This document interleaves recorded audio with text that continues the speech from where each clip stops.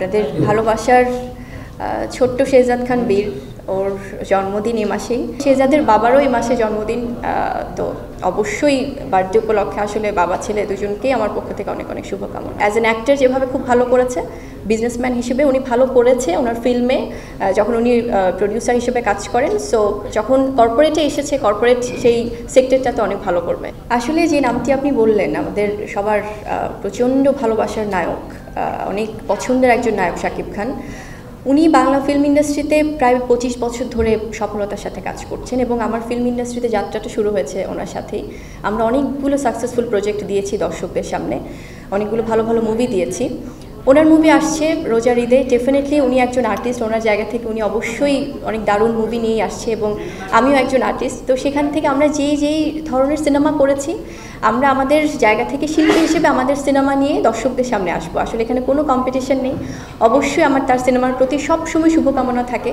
আমি এটা আপনাদের সামনেই বলেছি এবং আমি খুব পজিটিভ থাকি, ইতিবাচক থাকি। আমি সবসময় সব শিল্পীদের ব্যাপারে। সো এবারেও কোনো ব্যতিক্রম না। অবশ্যই অনেক শুভকামনা এবং ভালোবাসা।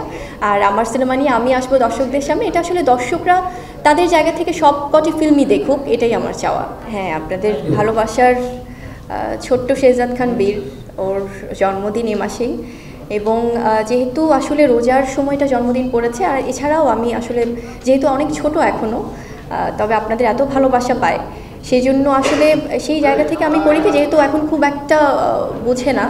তো আমি খুব পারিবারিকভাবেই জন্মদিনটা পালন করি। হয়তো বা যখন আর একটু বড় হবে, আপনাদের সবাইকে নিয়ে একসাথে পালন করব। আর এছাড়া তো এবারে যেহেতু রমজানে পড়েছে তো খুব একটা আয়োজন ওরকম আমি নিজেও চাই না, পরিবার থেকেও চাচ্ছে না যে একদম ফ্যামিলি ওয়েতে আমরা যেভাবে সেলিব্রেট করার সেটাই করব।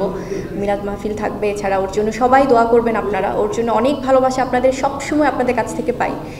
এবারও চাই যে সেই ধারাবাহিকতা থাকুক। আপনাদের ভালোবাসায় দোয়ায় শেহজাদকে সবসময় রাখবেন। আর যেটি বলছিলেন যে শেজাদের বাবারও এই মাসে জন্মদিন তো অবশ্যই বার্থডে উপলক্ষে আসলে বাবা, ছেলে দুজনকেই আমার পক্ষ থেকে অনেক অনেক শুভকামনা। আসলে উনি তো আমাদের পরিবারের অংশ, আমার পরিবারের অংশ, তো সেখান থেকে আমাদের ব্যক্তি বিষয়গুলো নিয়ে তো অবশ্যই সেটা অন্যরকম একটা আলোচনা থাকে তবে ডেফিনেটলি উনি ব্যবসায়িকভাবে আসলে হয়তো এখন আপনাদের সবার সামনে এসেছে, কিন্তু এটা বহু বছর আগে থেকেই আমি বলব যে উনি ব্যবসায়িক হিসেবে যাত্রা শুরু করেছে বিকজ ওনার প্রোডাকশন হাউস কিন্তু আছে মানে ফিল্ম প্রডিউস করেছে এবং তাছাড়া অন্যান্য অনেক বিজনেস আছে যেটা কিন্তু এখনও অনেক হয়তো জানে না বা উনি হয়তো ওভাবে রিভিল করে না। তবে ওনার যে নতুন প্রতিষ্ঠান নিয়ে উনি অ্যাজ এ ডিরেক্টর এসেছেন সবার সামনে সেটি নিয়ে অবশ্যই অনেক ভালোবাসা, অনেক অনেক বেশি বেস্ট ওয়েসেস থাকবে।